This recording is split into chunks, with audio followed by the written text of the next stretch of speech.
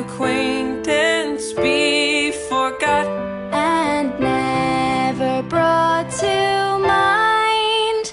Should old acquaintance be forgot?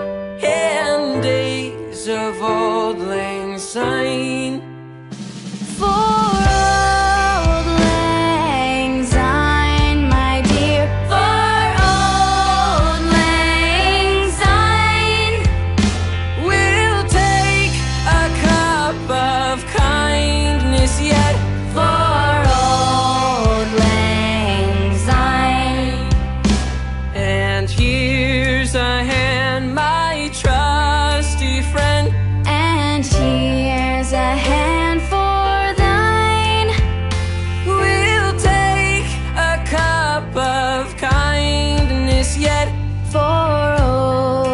bless.